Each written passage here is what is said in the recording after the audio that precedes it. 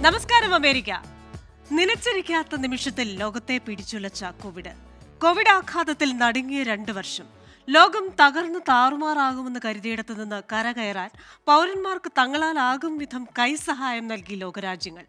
മഹാമാരിയിൽ ആടിയുലയുമ്പോഴും അതിജീവനത്തിനായി മനുഷ്യർ കൈകോർത്തു. ഒറ്റക്കെട്ടായ പരിശ്രമം ഫലം കാണുമെന്ന തോന്നൽ. രണ്ടായിരത്തി ഇരുപത്തിരണ്ട് വലിയ തട്ടുകേടില്ലാതെ ലോകം കടന്നുപോയി.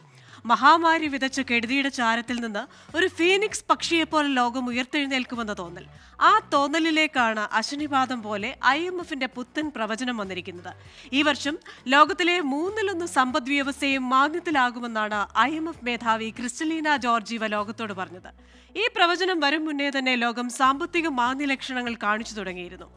ലോകത്ത് തലയെടുപ്പോടെ നിന്ന പല കമ്പനികളും ജീവനക്കാരെ പിരിച്ചുവിട്ട് മുണ്ടു മുറുക്കി ഉടുക്കാൻ തുടങ്ങിയത് ഒന്നാമത്തെ ലക്ഷണം. അഭിനവ ചാണക്യനായ ഇലോൺ മസ്ക് ട്വിറ്ററിന്റെ ചെലവ് ചുരുക്കലിന്റെ ഭാഗമായി സാൻ ഫ്രാൻസിസ്കോ ഓഫീസിലെ ജീവനക്കാരോട് സ്വന്തം നിലയിൽ ടോയ്ലറ്റ് പേപ്പർ കൊണ്ടുവരാൻ ആവശ്യപ്പെട്ടത് ഇതിനോട് കൂട്ടി വായിക്കാം ഒരു വശത്ത് അസംതൃപ്തരായ ജീവനക്കാരുടെ കൂട്ടരാജി മറുവശത്ത് കൂട്ട പിരിച്ചുവിടൽ തൊഴിൽ വിപണിയിൽ ഒന്നും ടാലിയാകാത്ത അവസ്ഥ. ലോകമെമ്പാടുമുള്ള കേന്ദ്ര ബാങ്കുകൾ പലിശ നിരക്ക് ഉയർത്താൻ തുടങ്ങിയത് മറ്റൊരു ലക്ഷണം. എന്തായാലും മാന്യം പടിവാതിലിൽ എത്തി നിൽക്കുമ്പോൾ ചോദ്യം ഒന്ന് മാത്രം ഇനി എന്ത്? അതിജീവനത്തിന്റെ പൊന്നുതമ്പുരാന്മാരായ മാനവരാശി വരാനിരിക്കുന്ന വറുതിയെ എങ്ങനെ നേരിടും? ആമസോണും ട്വിറ്ററും മെറ്റയും നെറ്റ്ഫ്ലിക്സും അടക്കമുള്ള കമ്പനികൾ കൂട്ട പിരിച്ചുവിടലിലേക്ക് പോകുമ്പോൾ പിരിച്ചുവിടലിനിരയാകുന്ന തൊഴിലാളികളുടെ കുടുംബങ്ങളെയും സമ്പദ് വ്യവസ്ഥയും അതെങ്ങനെ ബാധിക്കും? American dialogue powered by heads New York ഈ വാരം ചിന്തിക്കുന്നതും ഈ വിഷയമാണ് ലോകം വറുതിയിലേക്കോ.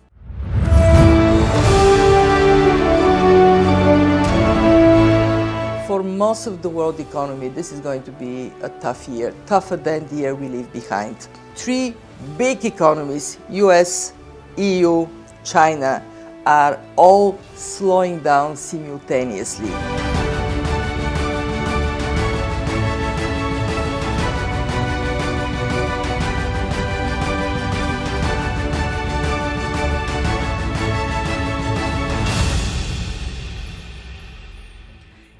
ഇന്നത്തെ അതിഥികൾ സാമ്പത്തിക വിദഗ്ധനായ doctor Tojo Thachankary. I T management expert Sudeep Nair. C P I and managing partner Thomas and company Jose Thomas. Loan ഓഫീസറും മോഡ്ഗേജ് സ്പെഷ്യലിസ്റ്റുമായ വിപിൻ രാജ് എന്നിവരാണ്. എല്ലാ പ്രേക്ഷകർക്കും എല്ലാ അതിഥികൾക്കും American dialogue powered by head ന്യൂയോർക്കിന്റെ എപ്പിസോഡിലേക്ക് സ്വാഗതം.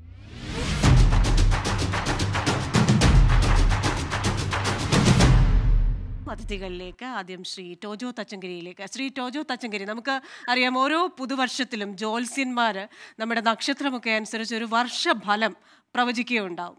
അതേപോലെ തന്നെ താങ്കൾ ഒരു സാമ്പത്തിക വിദഗ്ധനാണ്. രണ്ടായിരത്തി ഇരുപത്തി മൂന്നിൽ ലോകരാജ്യങ്ങളുടെ ഒരു സാമ്പത്തിക ജാതകം എങ്ങനെയായിരിക്കും? ഐ എം എഫ് പറഞ്ഞിരിക്കുന്നത് സ്വല്പം എക്സാജുറേറ്റഡ് ആണ്. അമേരിക്കയിലെ എക്കോണമി നോക്കുകയാണെങ്കിൽ ടൂ തൗസൻഡ് ട്വന്റി ത്രീ പകുതി ആകുമ്പോഴേക്കും ഇംപ്രൂവ് ചെയ്യും. ഫ്രം ജനുവരി ടു ജൂലൈ സ്വല്പം താഴ്ച കാണും. എന്നാലും ഈ ന്യൂസ് മീഡിയ കാണുന്നതൊക്കെ സ്വല്പം എക്സാജറേഷൻ ആണ്. ഉദാഹരണത്തിന് ആമസോൺ ഒത്തിരി ലേ ഓഫ് ചെയ്തെന്ന് ന്യൂസ് ഉണ്ട്. പക്ഷെ ആമസോണിന് പതിനഞ്ച് ലക്ഷം എംപ്ലോയീസ് ഉണ്ട്. പതിനഞ്ച് ലക്ഷത്തിൽ നിന്ന് എയ്റ്റീൻ തൗസൻഡ് ആൾക്കാരെയാണ് വിടുന്നത്. അതൊരു വൺ പെർസെന്റേ ഉള്ളൂ. അതേസമയം Twitter fifty percent lay off ചെയ്തു. കാരണം അവിടെ total employee count much less than Amazon ആണ്. അങ്ങനെ നോക്കുമ്പോൾ ഈ വളരെ ലേ ഓഫ് ഉണ്ടെങ്കിലും ലേ ഓഫ് ചെയ്യുന്ന എംപ്ലോയീസ് ഒക്കെ ഇമ്മീഡിയറ്റ് ജോലി കിട്ടുന്നുണ്ട്. ആദ്യം ഇൻട്രൊഡക്ഷനിൽ പറഞ്ഞല്ലോ ടെക് സെക്ടറിൽ ഒത്തിരി ലേ ഓഫ് ഒക്കെ വരുന്നുണ്ട്. ആൾക്കാരെ പറഞ്ഞു വിടുകയാണെന്നൊക്കെ. അവർക്കൊക്കെ ഇമ്മീഡിയറ്റ് വേറെ ജോലി കിട്ടുന്നുണ്ട്. നോക്കുമ്പോൾ അത്രയും മോശമല്ല നമ്മുടെ അറ്റ്ലീസ്റ്റ് അമേരിക്കയിലെ എക്കോണമി എന്നാലും unemployment still three point five പെർസെന്റേ ഉള്ളൂ. അത് one of the lowest unemployment rate ആണ് ത്രീ പോയിന്റ് ഫൈവ് പെർസെന്റ് പക്ഷെ നമ്മൾ ഈ ട്വിറ്ററിൽ നിന്നൊക്കെ വരുന്ന വാർത്തകൾ നോക്കിക്കഴിഞ്ഞാൽ കഠിനമായ ചെലവ് ചുരുക്കൽ നടപടികൾ സാൻ ഫ്രാൻസിസ്കോയിലെ ഓഫീസ് ജീവനക്കാരോട് സ്വന്തമായി ടോയ്ലറ്റ് പേപ്പർ കൊണ്ടുവരാൻ ട്വിറ്റർ പോലെയുള്ള ഒരു കമ്പനി ആവശ്യപ്പെടുക അതേപോലെ തന്നെ ശുചീകരണ ജീവനക്കാരെ പിരിച്ചുവിടുക. ആ കൂട്ട പിരിച്ചുവിടലിനെ തുടർന്ന് ട്വിറ്ററിന്റെ സാൻ ഫ്രാൻസിസ്കോ ഓഫീസിലെ ശുചിമുറികൾ വളരെ വൃത്തിഹീനമായെന്നും ഭക്ഷണം കുമിഞ്ഞുകൂടുന്നു എന്നൊക്കെയുമുള്ള റിപ്പോർട്ടുകൾ നമ്മൾ കൂട്ടി വായിക്കുമ്പോൾ എവിടെയോ എന്തോ ചീഞ്ഞു നാറുന്നില്ലേ? അത് ട്വിറ്റർ എന്ന് പറയുന്ന അതൊരു പ്രത്യേക കേസാണ്. കാരണം അത് സാൻ ഫ്രാൻസിസ്കോയിൽ അവർ വളരെ എക്സ്പെൻസീവ് റിയൽ എസ്റ്റേറ്റ് ആയിരുന്നു. അതിന്റെ വാടക ഇപ്പൊ കൊടുക്കാത്തതുകൊണ്ട് അതിന്റെ ലാൻഡ് ലോഡ് അവർക്ക് നോട്ടീസ് അയച്ചിട്ടുണ്ട്. മറ്റുള്ള കമ്പനികളിലാണ് നമ്മൾ ഫോക്കസ് ചെയ്യേണ്ടത്. ഉദാഹരണത്തിന് സെയിൽസ് ഫോഴ്സ് അതൊരു വലിയ കമ്പനിയാണ് സാൻ ഫ്രാൻസിസ്കോയിൽ അവർക്ക് ഒരു ടെൻ പെർസെന്റോളം ലേ ഓഫ് ചെയ്യുന്നുണ്ട്. പക്ഷെ അവർക്കൊക്കെ ഇമ്മീഡിയറ്റ് വേറെ ജോലി കിട്ടുന്നുമുണ്ട്. എന്നാലും നമ്മൾ മൊത്തം നമ്പർ നോക്കുമ്പോൾ മൂന്നര ശതമാനം അൺഎംപ്ലോയ്മെന്റ് പറയുന്നത് വൺ ഓഫ് ദി ലോവസ്റ്റ് ആണ്.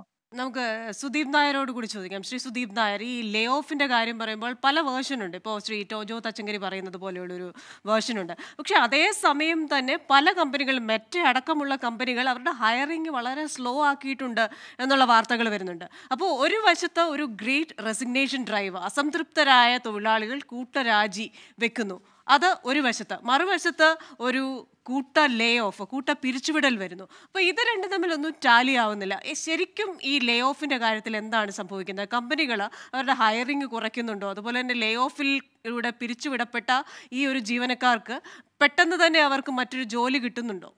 ഇതിനെ രണ്ട് രീതിയിലാണ് കാണേണ്ടത്. ഒന്ന് ഈ ലേ ഓഫ് നടക്കുമ്പോഴും ആൾക്കാർ റിസൈൻ ചെയ്ത് പോകുമ്പോഴും നമ്മൾ ഒബ്സർവ് ചെയ്യേണ്ടത് ഐ ടി കമ്പനികളുടെ ഐ ടി സ്പെൻഡ് പെർസെന്റേജ് എത്ര എന്നുള്ളതാണ്. നമ്മളിപ്പോ ഗാർഡനറിന്റെ റിപ്പോർട്ട് ഈ ഈ ആഴ്ച വന്നിരുന്നു. അവർ പ്രഡിക്ട് ചെയ്യുന്നത് രണ്ടായിരത്തി ഇരുപത്തി മൂന്നിൽ ഒരു മൂന്ന് പോയിന്റ് അഞ്ച് ശതമാനം ഐ ടി സ്പെൻഡ് കൂടുമെന്നുള്ളതാണ്. ഈവൻ കോവിഡ് നമ്മൾ അതാണ് പഠിപ്പിച്ചത്. കാരണം രണ്ടായിരത്തി ഇരുപതിൽ മുമ്പുള്ള കാലഘട്ടത്തെക്കാട്ട് ഐ ടി സ്പെൻഡ് വളരെ സബ്സ്റ്റാൻഷ്യലി കൂടി ഇരുപത്തി ഒന്നിലും ഇരുപത്തിരണ്ടിലും. അപ്പം ഐ ടി സ്പെൻഡ് കൂടുന്നത് കൊണ്ട് ആക്ച്വലി ആ ജോബ് മാർക്കറ്റിൽ the need of job still there ഇനി എന്തുകൊണ്ടാണ് ലേ ഓഫ് വരുന്നതെന്ന് ഞാൻ മനസ്സിലാക്കുന്ന ഐ ടി എക്സ്പെർട്ടീസ് എന്നുള്ള ബാക്ക്ഗ്രൗണ്ടിൽ ഓപ്പറേഷണൽ കോസ്റ്റ് കുറയ്ക്കുന്നതിന്റെ എഫക്റ്റ് ആയിട്ടാണ്. കാരണം ഈ രണ്ടായിരത്തി ഇരുപത്തി ഒന്ന് ഇരുപത്തിരണ്ട് കാലങ്ങളിലുണ്ടായ ഇൻഫ്ലേഷൻ കാരണം ജോബ് മാർക്കറ്റിൽ സാലറി ഹൈക്ക് വളരെ അധികമായിരുന്നു. ഫോർ എക്സാമ്പിൾ എസ്പെഷ്യലി ഇപ്പം ഞാനൊക്കെ ഒരുപാട് ഹയർ ചെയ്യുമ്പോൾ ഞാൻ പണ്ട് കൊടുത്തുകൊണ്ടിരുന്ന ഒരു ഓഫറിനെക്കാട്ടും ഒരു twenty to thirty percent offer കൂടുതൽ കൊടുത്താൽ മാത്രമേ ഇന്ന് ടാലന്റിനെ മാർക്കറ്റിൽ അട്രാക്ട് ചെയ്യാൻ പറ്റുള്ളൂ. അത് യു എസിലെ മാത്രം ഒരു പ്രതിഭാസമല്ല ഗ്ലോബൽ മാർക്കറ്റിൽ മൊത്തത്തിൽ ഇവൻ ഇന്ത്യ മാർക്കറ്റ് ആയാലും അത് തന്നെയാണ് ഇപ്പോഴത്തെ സിറ്റുവേഷൻ ഈ റെസിഗ്നേഷൻസിന്റെ മേജർ ഫാക്ടർ ലാക്ക് ഓഫ് സാറ്റിസ്ഫാക്ഷനിലുപരി ബെറ്റർ ജോബ് ഓപ്പർച്യൂണിറ്റീസ് ഉണ്ട് എന്നുള്ളതാണ്. പക്ഷേ ഈ ലേ ഓഫ് വളരെ അഗ്രസീവ് ആയിട്ട് നടന്നത് ലാസ്റ്റ് ക്വാർട്ടറിലാണ് എസ്പെഷ്യലി സ്റ്റാർട്ടിങ് ഫ്രം ഒക്ടോബറിന് ശേഷമാണ്. ഈ നോക്കിക്കഴിഞ്ഞു കഴിഞ്ഞാൽ അവരവരുടെ എംപ്ലോയീസിനെ ലേ ഓഫ് ചെയ്യുമ്പോൾ അവരുടെ എക്സ്പെൻഡിച്ചർ കുറയ്ക്കുകയാണ് അവർ ടെക്നിക്കലി ചെയ്യുന്നത്. എന്നിട്ട് അവർ എന്താ ചെയ്യുന്നതെന്ന് വെച്ച് കഴിഞ്ഞാൽ ഈ വർക്ക് മോസ്റ്റ്ലി സർവീസ് പ്രൊവൈഡേഴ്സ് ആയ കമ്പനികൾക്ക് ഔട്ട്സോഴ്സ് ചെയ്യണം. അപ്പൊ മേജർ ഐ ടി ജയൻസിന് നോക്കിക്കഴിഞ്ഞു കഴിഞ്ഞാൽ അതൊരു മേജർ ഇമ്പാക്ട് ആവില്ല ടെക്നിക്കലി സ്പീക്കിംഗ് അവർക്ക് ഇതേ വർക്ക് ലോ കോസ്റ്റിൽ മറ്റുള്ളവരെ കൊണ്ട് ചെയ്യാൻ പറ്റും. ഞാൻ ഇതിനെ ഇങ്ങനെയാണ് നോക്കിക്കാണുന്നത്. ശ്രീ ജോസ് തോമസ് അങ്ങ് ഒരു നികുതി വിദഗ്ധനാണ്. ഇപ്പോൾ നമ്മൾ പല രാജ്യങ്ങളിലെയും നികുതി ഘടന നോക്കുമ്പോൾ പലരും പരാതിപ്പെടുത്തുന്നത് പെടുന്നത് ഈ ഒരു സാമ്പത്തിക പ്രതിസന്ധിയുടെ കാലത്ത് അവരടക്കേണ്ടി വരുന്ന നികുതി വളരെ കൂടുതലാണ്. പ്രത്യേകിച്ച് ബ്രിട്ടനിലൊക്കെ ഒരു നികുതി ഇളവ് കൊടുക്കാൻ ശ്രമിച്ച് അമ്പയെ പരാജയപ്പെട്ട കാര്യമൊക്കെ നമുക്കറിയാം. അതുകൊണ്ട് തന്നെ ഈ ഒരു വർഷം നികുതി ഇളവ് നൽകാൻ രാജ്യങ്ങൾ തയ്യാറാകുമോ? നികുതിയുമായി ബന്ധപ്പെട്ട എന്തൊക്കെ പോളിസീസ് ആണ് ലോകരാജ്യങ്ങളിലേക്ക് വരാൻ പോകുന്നത്? പല രാജ്യങ്ങളും കൺസിഡർ ചെയ്യുന്നുണ്ട്. എല്ലാ രാജ്യങ്ങൾക്കും അറിയത്തില്ല. ഇപ്പോൾ ക്രിസ്ത്യന ചോദിച്ചല്ലോ ലോകം ഒരു വറുതിയിലേക്കാണോ പോകുന്നതെന്ന്. ലോകം ഒരു വറുതിയിലേക്കാണോ പോകുന്നതെന്ന് ചോദിച്ചതിന്റെ ഒരു ആൻസർ നമുക്ക് ഒറ്റ ആൻസർ ആയിട്ട് പറയത്തില്ല. ഇതിന്റെ കാരണം എന്താണ്? കാരണം നമുക്കത് ഒരു മാക്രോ എക്കണോമിക് വേയിലേക്ക് ചോദിക്കുകയാണെങ്കിൽ നമുക്ക് പറയാൻ പറ്റും. അതായത് ത്രീ വേസിൽ ഒന്ന് നമുക്ക് ത്രീ സെക്ടറായിട്ട് എക്കോണമിയെ വേൾഡ് എക്കോണമിയെ നമുക്കൊന്ന് ഡിവൈഡ് ചെയ്ത് നോക്കി. അതായത് യു എസ് സെക്ടർ പിന്നെ അതുകൂടാതെ തന്നെ യൂറോപ്യൻ സെക്ടർ അത് അത് മൂന്നാമതായിട്ട് Asian Pacific. What is happening in United States United സ്റ്റേറ്റ്സിൽ കാരണം കോവിഡിന്റെ രണ്ടാം ഭാഗത്തിൽ കോവിഡിന്റെ അവസാന ഘട്ടത്തിൽ യു എസ് ഗവൺമെന്റ് അതായത് ധാരാളം കറൻസി പബ്ലിക്കിന് കൊടുത്തു ഇൻ ദ ഫോം ഓഫ് സ്റ്റിമുലസിലും അതുകൂടാതെ ഇ ഐ ഡി എൽ ലോണുമായിട്ട് വളരെ ഇൻട്രസ്റ്റ് റേറ്റ് കുറച്ചായിട്ട് കൊടുത്തു. ആ അതിന്റെ എഫക്റ്റ് ആയിട്ട് ഹൈ ആയിട്ടൊരു ഇൻഫ്ലേഷണറി എഫക്റ്റ് വന്നു. ആ ഇൻഫ്ലേഷണറി എഫക്റ്റിനെ കടയിൽ ചെയ്യാൻ വേണ്ടിയിട്ട് ഫെഡറൽ ഗവൺമെന്റ് വളരെയധികം സ്റ്റീപ്പായിട്ട് ഇൻട്രസ്റ്റ് റേറ്റ് കൂട്ടി. ഇൻട്രസ്റ്റ് റേറ്റ് കൂട്ടിയത് കൊണ്ട് നമുക്ക് ഒരു എക്കണോമി ഒന്ന് സ്ലോ ഡൗൺ ആകുന്നു ആ സ്ലോ ഡൗണിന്റെ എഫക്റ്റ് ആണ് നമ്മൾ കാണുന്നത്. ആ സ്ലോ ഡൗണിന്റെ എഫക്റ്റ് ടാക്സുമായിട്ട് എഫക്ട് ഇമ്പാക്ട് ചെയ്യാൻ കാര്യമില്ല. കാരണം എന്തെന്ന് ചോദിച്ചാൽ യു എസിൽ ഒരു റിസഷനിലേക്ക് പോകാനുള്ള സാധ്യത വളരെ കുറവാണ്. കാരണം പണ്ടത്തെയൊക്കെ എക്കോണമി എന്ന് പറയുമ്പോൾ റിസഷന്റെ ഫസ്റ്റ് സിംറ്റം എന്ന് പറയുന്നത് അതായത് അൺഎംപ്ലോയ്മെന്റ് ആണ്. Unemployment still in the highest rate അതുപോലെ തന്നെ ആൾക്കാർക്ക് ഇവിടെ ജോലി നമുക്ക് ഇവിടെ ജോലിക്കാരെ കിട്ടാനില്ല. അതായത് വലിയ ഇഷ്യൂ ആണ്. അതായത് ആൾക്കാരെ കിട്ടാനില്ല. പല പല എംപ്ലോയിയേഴ്സും ആൾക്കാരെ ഹയർ ചെയ്യാൻ നോക്കുന്നു. ഞാൻ തന്നെ ഒരു എംപ്ലോയർ ആണ്. ഞങ്ങൾക്ക് തന്നെ എംപ്ലോയീസിനെ ഇവിടെ ഹയർ ചെയ്യാൻ വളരെ പാടാണ്. അതുപോലെ തന്നെ ഈ കാരണത്താൽ അതായത് ഫെഡറൽ ഗവൺമെന്റ് തീർച്ചയായിട്ടും interest rate sorry tax rate കുറയ്ക്കാൻ ഇപ്പൊ ഇപ്പൊ കാണുന്നില്ല. അതായത് സിവിയർ ആയിട്ട് റിസഷൻ പോവുകയാണെങ്കിൽ കുറയ്ക്കാൻ സാധ്യതയുണ്ട്. പക്ഷെങ്കിൽ റിസഷന് നമ്മളൊരു എക്കണോമിക് സ്ലോ ഡൗണിലേക്കാണ് പോകുന്നത് റിസഷനിലേക്കല്ല അതായത് എന്റെ ഒപ്പീനിയനിൽ യു എസ് ഒരു തേർഡ് ക്വാർട്ടർ ആകുമ്പോഴത്തേന് നമ്മൾ ഇതിനകത്ത് നിന്ന് ടേൺ അറൗണ്ട് ചെയ്യും. ഈ സ്ലോ ഡൗൺ പോസിറ്റീവ് ഗ്രോത്തിലേക്ക് മാറ്റും മാറും. അത് അതുകൂടാതെ തന്നെ യൂറോപ്പിലെ നോക്കുകയാണെങ്കിൽ യൂറോപ്പിൽ അതിന്റെ പ്രശ്നമുണ്ട്. ഇപ്പോൾ വാറിന്റെ പ്രശ്നം കാണുന്നുണ്ട്. വാറ് കാരണം അവിടുത്തെ കമ്മോഡിറ്റിയുടെ ഇഷ്യൂ ഉണ്ട്. എനർജിയുടെ ക്രൈസിസ് കാണുന്നുണ്ട്. എനർജിയുടെ ക്രൈസിസ് കാണുമ്പോൾ അവിടെ പ്രൊഡക്ടിവിറ്റി കുറയുന്നു. ആൾക്കാർക്ക് ഒത്തിരി പേർക്ക് കൂടുതൽ എക്സ്പെൻഡി എനർജിയിലേക്ക് വേണ്ടിയിട്ട് കൂടുതൽ സ്പെൻഡ് ചെയ്യേണ്ടി വരുന്നു. അപ്പൊ യൂറോപ്പിൽ തീർച്ചയായിട്ടും ഒരു പ്രശ്നമാണ്. ജർമ്മനി സിവിയർ എക്കണോമിക് ഇമ്പാക്റ്റിലേക്ക് പോകും. അതും തീർച്ചയായിട്ടും തീർച്ചയായിട്ടും യൂറോപ്യൻ രാജ്യങ്ങൾ അതിനെ അതിജീവിക്കും. കാരണം എന്താ ചോദിച്ചാൽ അവിടുത്തെ സ്റ്റിമുലസ് ഫോമിൽ തീർച്ചയായിട്ടും അതിജീവിച്ചു വരും. പിന്നെ India China. China is going to have a severe problem because China's internal debt ചൈനയിൽ ഒത്തിരി കൂടുതലാണ്. പിന്നെ ചൈനയിലെ പ്രൊഡക്ടിവിറ്റി ഒത്തിരി കുറഞ്ഞു ബിക്കോസ് ഡിമാൻഡ് കുറയുന്നു ചൈനീസ് സാധനങ്ങൾക്ക്. അപ്പോൾ ചൈനയിൽ പ്രശ്നമായിരിക്കും. അപ്പോൾ ചൈനയിൽ തീർച്ചയായിട്ടും ഒരു ഇഷ്യൂ വരും. പിന്നെ ഇന്ത്യയിലെ നോക്കുകയാണെങ്കിൽ ഇന്ത്യയിലെ ഇന്ത്യയിലെ എക്കണോമി തീർച്ചയായിട്ടും കൂടും. ഇന്ത്യയിലെ യങ് ജനറേഷനാണ് വേൾഡ് ഒരു അതിരൂക്ഷമായ സാമ്പത്തിക മാന്യത്തിലേക്ക് പോകാനുള്ള സാധ്യത വളരെ കുറവാണ് കാണുന്നത് ഇപ്പോൾ. പക്ഷെങ്കിൽ ഒരു എക്കണോമിക് മാന്യതയുണ്ടാകും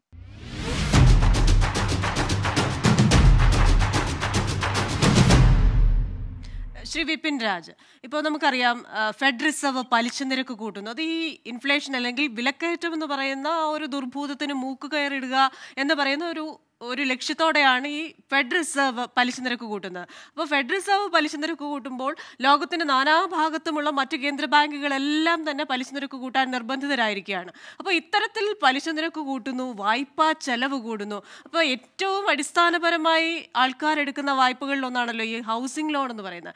ഹൗസിംഗ് സെക്ടറിനെ ഇതെങ്ങനെ ബാധിക്കാൻ സാധ്യതയുണ്ട്? പ്രത്യേകിച്ച് എപ്പോഴൊരു മാന്ദ്യം വന്നാലും ആദ്യം അത് അഫക്റ്റ് ചെയ്യുന്ന ഒരു റിയൽ എസ്റ്റേറ്റ് സെക്ടറാണല്ലോ അതുകൊണ്ട് തന്നെ ആ ഒരു പ്രോപ്പർട്ടി റിയൽ എസ്റ്റേറ്റ് ഹൗസിംഗ് സെക്ടറിനെ ഈ ഒരു റേറ്റ് ഹൈക്ക് എങ്ങനെ ബാധിക്കും? ഫസ്റ്റ് ഓഫ് ഓൾ ഞാൻ പറയുന്നത് ഏറ്റവും കൂടുതൽ ഇത് ബാധിച്ചിരിക്കുന്നത് ബാങ്കിങ് മേഖലകളിലും പിന്നെ അതുപോലെ റിയൽ എസ്റ്റേറ്റ് മേഖലകളിലും മാത്രമാണ്. നമ്മുടെ വിദഗ്ധർ ഇവിടെ ഇരിപ്പുണ്ട്. അവർ അവർ പറയ അവർ പറഞ്ഞ് നമ്മൾ കേട്ടതാണ്. ഇത് യൂഷ്വലി ഐ ടി മേഖലയിലോ അങ്ങനെയൊന്നും ഇതധികം ജോബ് അഥവാ പോയെങ്കിൽ തന്നെയും അത് അവർക്ക് പെട്ടെന്ന് ജോലി കിട്ടുകയൊക്കെ ചെയ്യുന്നുണ്ട്. ഇപ്പൊ ഞങ്ങളെ എനിക്ക് എന്നെ പറ്റിയേ പറയാൻ പറ്റുള്ളൂ ബാങ്കിനെ പറ്റിയേ പറയാൻ പറ്റുള്ളൂ. ഞങ്ങളെ സംബന്ധിച്ച് ഇറ്റ്സ് ഇറ്റ്സ് വെരി ഹാർഡ് ഇപ്പൊ ഞങ്ങൾ loan application new loan applications നോക്കുവാണെങ്കിൽ നമ്മൾ ഓൾമോസ്റ്റ് ഒരു എയ്റ്റി പെർസെന്റേജോളം ആപ്ലിക്കേഷൻ സ്ലോ ഡൗൺ ആയിട്ടുണ്ട്. അപ്പം അതുപോലെ തന്നെ ഇപ്പൊ എന്റെ കറന്റ് ഞങ്ങളുടെ ഭാഷയിൽ പറയുകയാണെങ്കിൽ കറന്റ് പൈപ്പ് ലൈൻ അതായത് ഞങ്ങൾക്ക് കറന്റ് ആപ്ലിക്കേഷൻ ഉള്ള ബയേഴ്സിന്. മജോറിറ്റി ഓഫ് ദം ഇപ്പം ഡിനയൽ സ്റ്റാറ്റസിലാണ് ഇരിക്കുന്നത്. കാരണം ഡിനയൽ സ്റ്റാറ്റസ് എന്ന് പറയാൻ കാരണം ഒരു ആറു മാസം മുമ്പ് വരെ ഒരു മീഡിയം ഫാമിലിക്ക് ഈസി ആയിട്ട് ഒരു ഫൈവ് ഹൺഡ്രഡ് തൗസൻഡ് അല്ലെങ്കിൽ ഒരു അര അര മില്യൺ ഡോളറിന്റെ വീട് അവർ ക്വാളിഫൈ ആവുമായിരുന്നു. അപ്പൊ ആ ഇപ്പത്തെ ഇൻട്രസ്റ്റ് റേറ്റ് ഹൈക്കിന് ശേഷം ആ സെയിം സെനോറിയ നമ്മൾ എടുക്കുവാണെങ്കിൽ അവർക്ക് ഒരു ഓൾമോസ്റ്റ് ഒരു എയ്റ്റ് ഹൺഡ്രഡ് ഡോളേഴ്സോളം അവരുടെ പേയ്മെന്റ് കൂടിയിരിക്കുകയാണ്. അത് കാരണം അപ്പൊ അവർക്ക് അത് അഫോർഡ് ചെയ്യാൻ പറ്റുന്നുമില്ല. ഞങ്ങളെ സംബന്ധിച്ച് അവരെ ക്വാളിഫൈ ചെയ്യാനും പറ്റാത്തൊരു അവസരമാണ് ഇപ്പൊ വന്നിരിക്കുന്നത്. അതെ. ശ്രീ ടോജോ തച്ചങ്കരി ഇപ്പോൾ centre for business and economic research C B ആറിന്റെ റിസർച്ചും പറയുന്നത് സമാനമായ കാര്യമാണ്. ഐ എം എഫ് പറയുന്നത് ഒരു എക്സാജറേറ്റഡ് വേർഷൻ അല്ലെങ്കിൽ ക്രിസ്റ്റലീന ജോർജീവ പറയുന്നു. പ്രധാനപ്പെട്ട സമ്പദ് വ്യവസ്ഥകൾ അമേരിക്കയും യൂറോപ്യൻ യൂണിയനും ചൈനയും ഒക്കെ മാന്യത്തിലാകും. അതും ചൈന തുമ്മിയാൽ മറ്റ് രാജ്യങ്ങളെ അത് അഫക്ട് ചെയ്യും. കാരണം ചൈനീസ് ഉൽപ്പന്നങ്ങളാണ് പല രാജ്യങ്ങളിലേക്കും പോകേണ്ടത്. അവരുടെ ഒരു സീറോ കോവിഡ് നയത്തിലുണ്ടായ നിയന്ത്രണം അവരത് എടുത്ത് മാറ്റിയിരിക്കുന്നു. അപ്പോൾ ഇങ്ങനെ വരുമ്പോൾ കോവിഡ് വ്യാപനം കൂടുന്നു. ചൈനയിൽ നിന്ന് മറ്റ് രാജ്യങ്ങളിലേക്ക് പോകേണ്ട കയറ്റുമതി കുറയും. അപ്പോൾ ഇങ്ങനെ ഒരുപാട് കാര്യങ്ങൾ കെട്ടുപിണഞ്ഞ് കിടക്കുകയാണ്. ഇതോടൊപ്പം തന്നെയാണ് ഈ സി ബി ആറിന്റെ കണക്കുകൾ വന്നിരിക്കുന്നത്. അപ്പോൾ അവർ പറയുന്നത് ഈ വായ്പാ ചെലവ് കൂടുന്നത് ഒരു സാമ്പത്തിക മാന്യത്തിലേക്ക് നയിക്കും. ഒരു വശത്ത് നമുക്ക് ഈ പണപ്പെരുപ്പം എന്ന് പറയുന്നത് നിയന്ത്രിക്കണം. മറുവശത്ത് വളർച്ച ത്വരിതപ്പെടുത്തുകയും വേണം. അത്തരത്തിലൊരു സ്ട്രാറ്റജി അത് എങ്ങനെയായിരിക്കും ഈ ഒരു വർഷം ലോകരാജ്യങ്ങൾ തയ്യാറാക്കുക?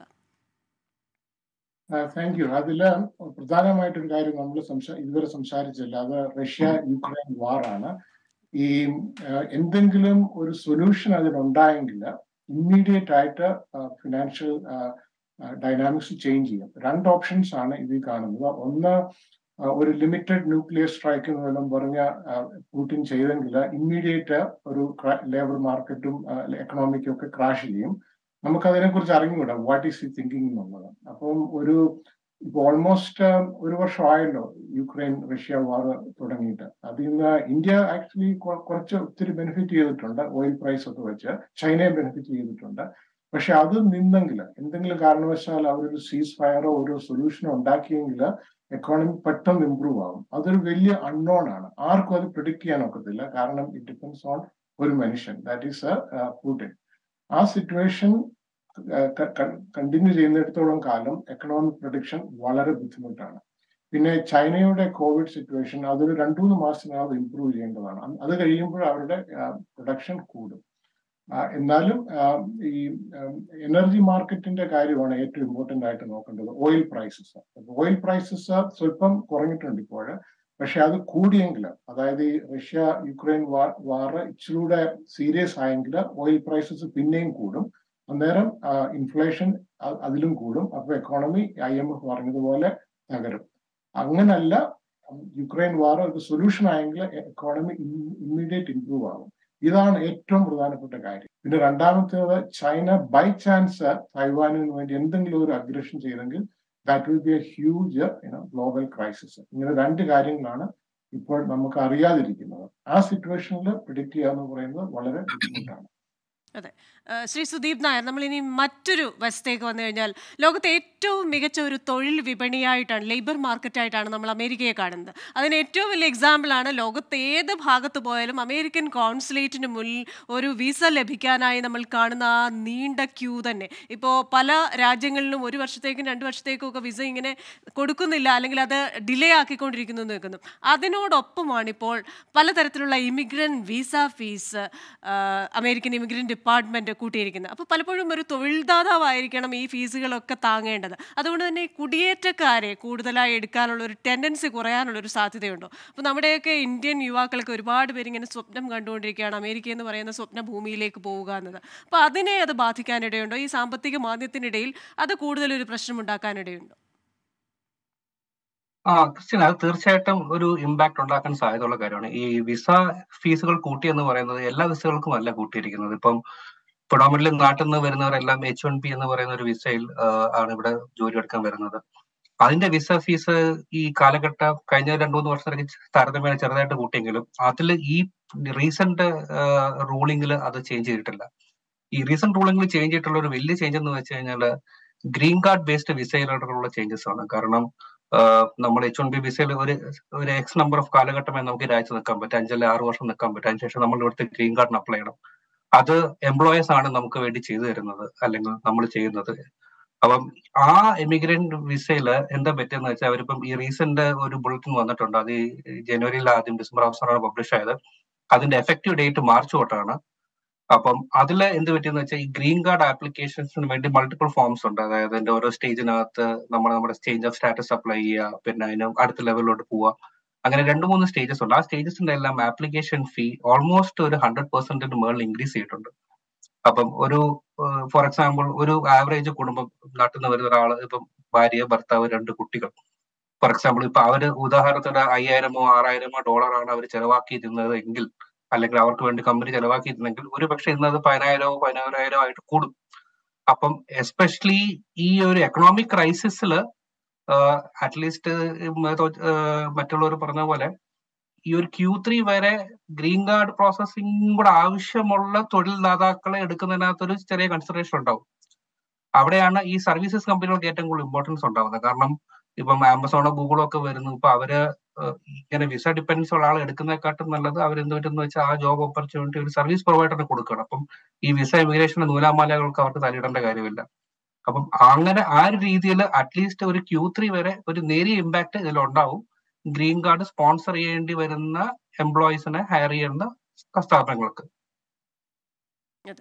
ശ്രീ ജോസ് തോമസ് ഇപ്പോൾ എന്റെ ഓർമ്മ ശരിയാണെങ്കിൽ ജെഫ് ബസോസ് ആണെന്ന് തോന്നുന്നു അദ്ദേഹം പറഞ്ഞിരുന്നു നിങ്ങൾ ഈ വരുന്ന വർഷം പുതിയ കാറും കളർ ടി വി അല്ലെങ്കിൽ പുതിയ ടി വി ഒന്നും വാങ്ങിക്കാനുള്ള ശ്രമം നടത്തരുത്. വസ്തു ഇങ്ങനെ സാധനങ്ങൾ വാങ്ങിച്ചു കൂട്ടരുത്. ആമസോൺ പോലെയുള്ള ഒരു കമ്പനിയുടെ സ്ഥാപകനാണത് പറഞ്ഞതെന്ന് ഓർക്കണം. അപ്പോൾ നമ്മുടെ പേഴ്സണൽ ഫിനാൻസിൽ നമ്മുടെ ടാക്സേഷൻ ഉണ്ട് നമ്മുടെ അസറ്റ് എങ്ങനെയാണ് നമ്മൾ ക്ലാസിഫൈ ചെയ്യേണ്ടതുണ്ട്. അപ്പോൾ കമ്പനികളാണെങ്കിലും വ്യക്തികളാണെങ്കിലും വരുന്ന ഒരു വർഷം അവർ ചെലവ് ഏത് രീതിയിലായിരിക്കണം ചെയ്യേണ്ടത്? ചെലവ് ചുരുക്കണോ? അതോ ഈ പറഞ്ഞതുപോലെ സമ്പദ് വ്യവസ്ഥയിലേക്ക് കൂടുതൽ പണം ഒഴുകണമെന്ന ഉദ്ദേശത്തോട് കൂടുതൽ കൂടുതൽ ചെലവ് ചെയ്യണോ? അവിടെ ഒരു കൺഫ്യൂഷൻ ഉണ്ടല്ലോ. അതൊരു വളരെ റെലവെന്റ് ആയിട്ടുള്ള ഒരു ആണ്. ജെഫ് ബെസോസ് പറഞ്ഞതിന്റെ കാരണം അതായത് ആൾക്കാർ ഒരു പ്രിക്കോഷണറി മെഷർ എടുക്കാൻ വേണ്ടിയിട്ട് പറഞ്ഞതാണ്. അതായത് ആൾക്കാർ അധികം സ്പെൻഡ് ചെയ്യാതിരിക്കുക. ഇപ്പോൾ ആദ്യമേ ഞാൻ പറഞ്ഞതുപോലെ തന്നെ ഇപ്പോൾ ഫെഡറൽ ഗവൺമെന്റ് അതായത് ടി ബില്ലിലേക്ക് തന്നെ ഇപ്പോൾ ഫൈവ് പെർസെന്റോളം ഇൻട്രസ്റ്റ് റേറ്റ് കിട്ടുന്നുണ്ട്. ഇപ്പോഴത്തെ rate four point seven five ആണ് ഉടനെ അത് ഫൈവ് പെർസെന്റ് ആകും.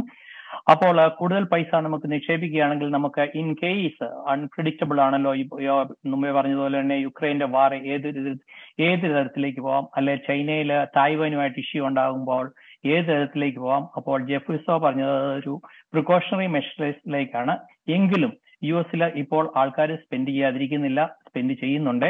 അത് നമ്മൾ ഒരു സാമ്പത്തിക സ്ലോ ഡൗൺ ആണ്. അതായത് ഒരു റിസഷനിലേക്ക് പോയിട്ടില്ല. ഇൻ കേസിൽ നമുക്ക് ഒരു തേർഡ് ക്വാർട്ടർ വരുമ്പോഴത്തേന് വാറിലേക്കും വാർ പോവുകയാ. അതുപോലെ തന്നെ തായ്വാനുമായിട്ട് ചൈനയിൽ പ്രശ്നം ഇല്ലെങ്കിൽ നമ്മളൊരു നല്ലൊരു ഫാസിരമായ ഭാവിയിലേക്കാണ് നമ്മൾ തേർഡ് ക്വാർട്ടറിലേക്ക് പ്രവേശിക്കാൻ പോകുന്നത്. ശരി വളരെ പെട്ടെന്ന് ശ്രീ വിപിൻ രാജ്. ഇപ്പോൾ പല കേന്ദ്ര ബാങ്കുകളും ഏഴും എട്ടും തവണ ഒരു വർഷത്തിനുള്ളിൽ റേറ്റ് ഹൈക്ക് വരുത്തിയവരുണ്ട് പല കേന്ദ്ര ബാങ്കുകളും. അപ്പോൾ ഇനി വരുന്ന ഒരു വർഷം ഇനി ഒരു റേറ്റ് ഹൈക്കിൻ കണ്ടിന്യൂസ് ചാൻസ് ആണോ ഉള്ളത്? ആ ഒരു ട്രെൻഡ് എങ്ങനെയായിരിക്കും? ഇനി റേറ്റ് ഒന്ന് കുറയാനുള്ള സാധ്യതയുണ്ടോ? റേറ്റ് കുറയണമെന്ന് തന്നെയാണ് ഞങ്ങളുടെ എല്ലാവരും ആഗ്രഹം. കാരണം എന്നാൽ മാത്രമേ ഉള്ളൂ. ഞങ്ങൾക്ക് എല്ലാവർക്കും ഇവിടെ ജോലി തന്നെ കാണുള്ളൂ ഞങ്ങളുടെ ബിസിനസ്സിൽ ഇപ്പം റേറ്റ് ഹൈക്കായി ഇരുന്ന തന്നെയും നമ്മൾ ഞങ്ങളുടെ ബാങ്ക് പല ബാങ്കുകൾ പല ഓപ്ഷൻസ് കൊടുക്കുന്നുണ്ട് ക്ലയൻസിന് വേണ്ടി. ഇപ്പം ഫോർ എക്സാമ്പിൾ ജോലി മാറിപ്പോകുന്നു അവർക്ക് വേറെ സ്റ്റേറ്റിലേക്ക് പോകുന്നു അവർക്ക് ഒരു വീട് മേടിച്ചേ പറ്റുള്ളൂ. അല്ലെങ്കിൽ കറന്റ് അപ്പാർട്ട്മെന്റിൽ താമസിക്കുന്നവരുടെ ലീസ് എക്സ്പയർഡ് ആവുന്നു so they have to buy within a month. അങ്ങനെയുള്ളവർക്ക് വീട് അത്യാവശ്യമാണ്. ഈ ഏത് മാർക്കറ്റിൽ അവർക്ക് മേടിച്ചേ പറ്റുള്ളൂ. അപ്പൊ അങ്ങനെയുള്ളവർക്ക് വേണ്ടി ബാങ്ക് പലതരം ഓപ്ഷൻസ് കൊടുക്കുന്നുണ്ട്. ഫോർ എക്സാമ്പിൾ ഞങ്ങൾ പറയും ആം പ്രൊഡക്റ്റ് എന്ന് പറയും. ആം പ്രൊഡക്റ്റ് എന്ന് പറഞ്ഞാൽ അഡ്ജസ്റ്റബിൾ റേറ്റ് മോർഗേജ് എന്നാണ് അത് അതിന് പറയുന്നത് അപ്പൊ അതായത് അത് ഫൈവ് ടു ഫൈവും സെവനും ഇയേഴ്സും അവരുടെ റേറ്റ് ലോക്ഡ് ആയിരിക്കും. അപ്പം അപ്പൊ ആ ആ പ്രൊഡക്റ്റ് ഈ തേർട്ടി ഇയർ ലോൺ ലോണിന്റെ റേറ്റിനെക്കാട്ടും എന്തുകൊണ്ടും റേറ്റ് ഒത്തിരി കുറവായിരിക്കും. അപ്പം അതിന്റെ അകത്തുള്ള ഒരു നെഗറ്റീവ് പോയിന്റ് എന്ന് പറഞ്ഞു കഴിഞ്ഞാൽ ആഫ്റ്റർ ഫൈവ് അവരുടെ ആ ഫൈവും സെവൻ ടേംസ് കഴിയുന്ന ഉടനെ ഇൻട്രസ്റ്റ് ഇൻട്രസ്റ്റ് റേറ്റ് ഹൈ ആകും. ഹൈ ആകാൻ സാധ്യതയുണ്ട്. സാധ്യതയുണ്ടെന്ന് എനിക്ക് പറയാൻ പറ്റുള്ളൂ. കാരണം we don't know after five years എന്താ സംഭവിക്കുന്നതെന്ന്. അപ്പൊ അന്നത്തെ മാർക്കറ്റിന്റെ എന്താണ് റേറ്റ് അതായിരിക്കാം അവർക്ക് കിട്ടാൻ പോകുന്നത്. അപ്പൊ അവർ അത് അതാണ് ഒന്നാമത്തെ നെഗറ്റീവ് പോയിന്റ് പിന്നെ രണ്ടാമത്തെ എന്ന് പറഞ്ഞു കഴിഞ്ഞാൽ ആ സമയത്ത് അവർക്ക് ലോൺ റീഫൈനാൻസ് ചെയ്യണം. അപ്പൊ റീഫൈനാൻസ് ചെയ്യാൻ നേരത്തെ ദർ എ ക്ലോസിംഗ് കോസ്റ്റ് ഉണ്ടായി അതിന്. അപ്പം ക്ലോസിംഗ് കോസ്റ്റ് അവരുടെ കയ്യിൽ നിന്ന് പേ ചെയ്യേണ്ടിയായിട്ട് വരും. നമ്മൾ നാട്ടിലെ പോലെ തന്നെ ഇവിടെയും ഉണ്ട്. പല ലോൺ ഓഫീസേഴ്സും ബാങ്ക് ഉദ്യോഗസ്ഥരും പറയാറുണ്ട് you can refinance with no fee അപ്പൊ അങ്ങനെ അമേരിക്കയിൽ നല്ല എവിടെയാണെങ്കിലും നത്തിങ് ഇസ് ഫ്രീ അപ്പം അപ്പൊ അങ്ങനെ ഒരു എക്സ്ട്രാ ഫീസ് അതിനു വേണ്ടി അവർക്ക് അതിന് ചെലവാ ചെലവാക്കേണ്ടിയായിട്ട് വരുന്നുണ്ട്. പിന്നെ അതുപോലെ ഒത്തിരി ഓപ്ഷൻസ് ഉണ്ട്. സമയമുണ്ടെങ്കിൽ ഒരു ഓപ്ഷൻ കൂടെ ഞാൻ പറഞ്ഞോട്ടെ. അവർക്ക് ബൈ ഞങ്ങളുടെ ഭാഷയിൽ ബൈ ഡൗൺ റേറ്റ് എന്ന് പറയും. അതായത് ഇപ്പം ഫോർ ഇപ്പൊ തേർട്ടി ഇയർ ഫിക്സ്ഡ് ആറര ശതമാനം ഇൻട്രസ്റ്റ് റേറ്റിലാണ് നിൽക്കുന്നതെങ്കിൽ ക്ലയന്റിന് അവർക്ക് വൺ പേഴ്സ് വൺ പോയിന്റ് കൊടുത്തു കഴിഞ്ഞാൽ വൺ പോയിന്റ് എന്ന് ഞാൻ ഉദ്ദേശിക്കുന്നത് ഒരു ശതമാനം അതായത് one percentage of the loan amount ഇപ്പോൾ ഒരു ഫൈവ് ഹൺഡ്രഡ് തൗസൻഡ് അര അര മില്യൺ ഡോളേഴ്സിന്റെ വീടാണെങ്കിൽ അവർ അയ്യായിരം ഡോളർ പേ ചെയ്ത് കഴിഞ്ഞാൽ ആറര ശതമാനം എന്നുള്ള ഇൻട്രസ്റ്റ് റേറ്റ് അവർക്ക് അഞ്ചര ശതമാനത്തിലേക്ക് കൊണ്ടുവരാം. അപ്പൊ അങ്ങനെ വരുമ്പോൾ അവ- അവരുടെ പേയ്മെന്റ് അവരുടെ മന്ത്ലി പേയ്മെന്റ് അവർക്ക് അഫോർഡ് ചെയ്യാനും ഞങ്ങൾ ഞങ്ങൾക്ക് അവരെ ക്വാളിഫൈ ചെയ്യാനും പറ്റും. അതെ നമ്മൾ എന്തായാലും രണ്ടായിരത്തി ഇരുപത്തി മൂന്നിനെ ഒരു ശുഭ പ്രതീക്ഷയോടുകൂടെ തന്നെയാണ് ഉറ്റുനോക്കുന്നത്.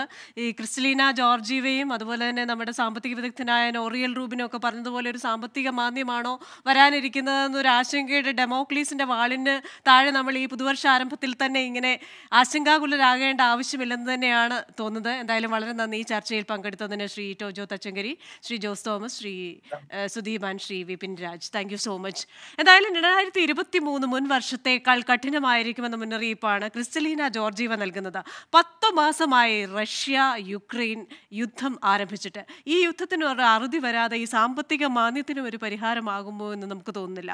കോവിഡ് ഉലച്ച രാജ്യാന്തര സമ്പദ് വ്യവസ്ഥയെ യുദ്ധം കൂടുതൽ ഉലച്ചു എന്ന് വേണം പറയാൻ. അതുകൊണ്ട് തന്നെ ഈ യുദ്ധമൊക്കെ ഒഴിഞ്ഞ് ലോക സമ്പദ് വ്യവസ്ഥ പൊതുവെളിച്ചത്തിലേക്ക് നീങ്ങട്ടെ. അടുത്തയാഴ്ച മറ്റൊരു വിഷയവുമായി വീണ്ടും കാണാം. Till stays